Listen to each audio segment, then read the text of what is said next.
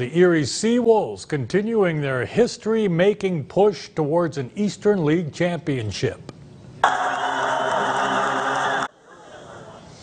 Yeah, the Seawolves taking on the Somerset Patriots on home turf for game one of a best of three series.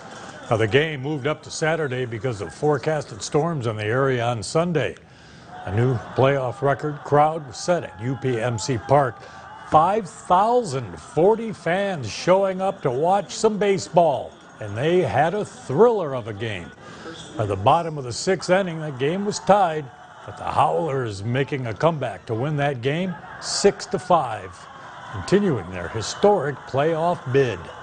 Game two taking place at Somerset tomorrow.